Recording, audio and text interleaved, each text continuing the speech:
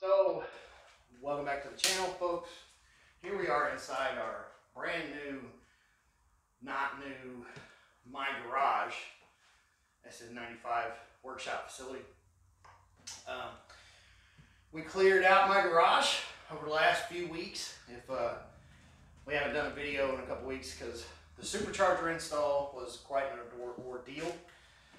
And I've realistically been working on cars nonstop all summer. So we took a break. Um, Sorta. Sorta. We took a break to clean my garage out, straighten it up, get my tools all organized, get my workbench set up where I wanted it to, purchase a few tools, and uh, the garage is still a organized clutter, um, but and it's now more organized than it was when we started. So this is where the majority of the magic will happen this winter. Uh, if you remember last winter, we couldn't shoot anything because we didn't have anywhere to shoot anything. Um, There's been some upgrades too, like lighting. oh yeah, with the, the lighting that's here in the garage that you see, this beautiful face of mine that you're able face of mine that you because of the lights, we put those in. Um, you know, like we say all the time in every video, we're not a huge YouTube channel. We don't position. We're doing this because we think it's fun, And funny. and she thinks I'm funny. Um, I thought I was funny, actually. and she's funny too. But anyway, See? so it takes us a little longer to get stuff going. But um, this garage is more than big enough to do the next project we want to do. Uh, don't worry, Green Hornet is still in the works, where you just have to do some more filming on that. But like we said, we're not a big YouTube channel, so we have to strategically plan fundage for parts We and have to budget. time and stuff like that. Um, so it may take us a little longer to get content out. Um, I feel like if we put at least one to two videos out a month, we're rocking. Close to my garage, so the mic can pick me up better and there's really less background noise. Um, so that's it. Stay tuned for the reveal of our new project, which is going to carry us probably through most of the winter. And it'll be something we work on and, you know, you'll see videos of it. You'll see videos of Green Hornet. You'll see Red Projects, uh, Redhead, because she's not technically all the way done yet. Um, my cameraman has decided she wants to put a transmission in, so we got to put a transmission in it. The Cobra isn't finished. There's a couple more. There's some upgrades that need to be done to it to make sure it doesn't blow up now that it has the supercharger. And plus, I'm pushing it to 10 pounds of boost, so there are upgrades that'll come along with that. So stay tuned for that. But uh, we'll see you in the next clip, and you'll get to see what we're Okay, so we ran into some technical difficulties. Um, we're going to have to do some uh, sound checks, I guess, in the future because uh, the mic didn't record anything again. So I'm just going to have to do some voice over here. Uh, behind me, the thing that I'm leaning on is our new project car. It's a 1990 GT Mustang. My parents bought back in 1996, and uh, it was my mother's car. She drove it most of my teenage years, or all of my teenage years, really, pretty much, and well into my young adulthood. And uh, then my father wrecked it, and it uh, got fixed, and then he actually wrecked it again. And then one day he went out to start it, and it wouldn't start, so he just let it sit.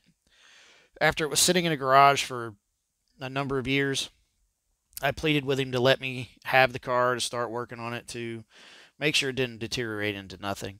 And uh, long story short, I got the car running within two days. Uh, it was a fuel pump regulator, and uh, had the car back on the road, and I drove it for a couple of years. It was my primary vehicle for a couple of years, and then um, the top on it got really bad and developed a hole, and I couldn't really afford to put a top on it at the time, so I parked it and put it under a tarp and that's the way it remained for about 15 years. Um, I drug this car around from house to house, and um, here it is finally is in my driveway of my current home. And it's set underneath this makeshift tarp for the last eight or nine years. And basically, what I'll do is I'm going to put the rest of the video into fast forward because obviously I don't know where the shotgun mic picked up and where it didn't. So I'm going to speed it things up, just throw some music in there, and you guys can watch uh, things develop. Uh, my mother, this was my mother's primary vehicle. Uh, she did pass away from cancer uh, six years ago, and my dad's been having some real troubles dealing with that. And I think it would just make his day if I could uh, get the car up and running again, get it all fixed up to where it's drivable to put back on the road, and uh, give it back to him. So that's really the plan: is to uh, get her fixed up, get her back to the point where she's drivable, get a top on her, get the floor pans fixed, get the rust fixed, do do some body work, and then uh, give it back to my dad for hopefully his birthday in the next within the next two years, hopefully. So uh, that's the plan for this car, and uh, I hope you guys enjoy watching.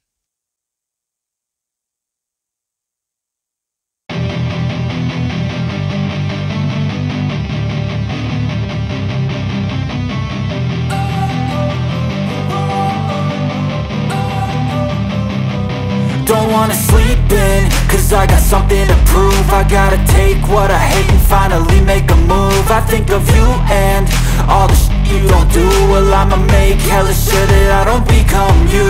I have no regrets, yeah, I'll up my chest. I'll never forget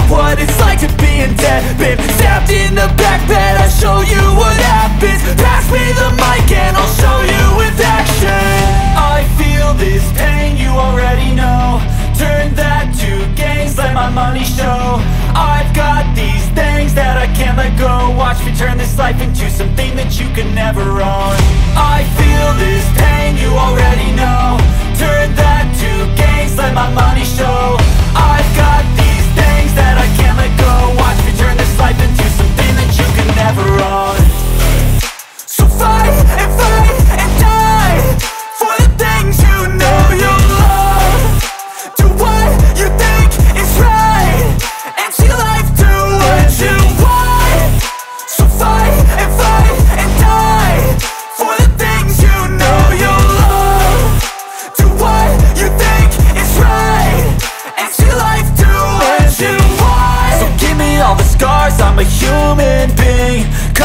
With tattoos so you can't see. Knew it from the start, you had problems with me And the things I could be, I just wish I had seen. I feel this pain, you already know. Turn that to gains, let my money show. I've got these things that I can't let go. Watch me turn this life into something that you can never own. I feel this pain, you already know. Turn that to gains, let my money show. I've got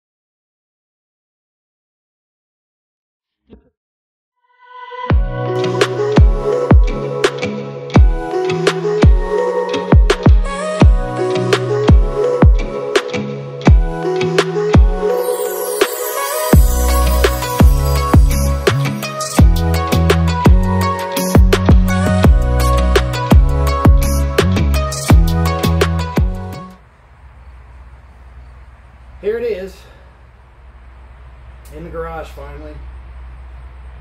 And honestly, for body rust, besides the floor pans, there's not a whole lot on the car. There's a little spot above the back fender. There's a little dent over here from something. And the floor pans. And unfortunately, I found the driver's side shock tower is rusted through. So, looks like I'm pulling the engine. so I can fix that. And if I'm pulling the engine, I'm just going to go ahead and rebuild it. She's got 225,000 miles on her. But the 302 is still strong. She needs all new interior, a new top, all that. She is a restoration, not a resurrection. So we'll be doing a video. The next video on it will be us getting the hood off and see if we can at least get her to run. Start up and run for the first time in two decades. Solid car, fellas. Pretty solid car. That's going to be it for this video because that's all I got in me was getting this done. Whew. And got her pushed in with a flat, no less. And thankfully, all four tires were free, surprisingly. And uh, she rolled free.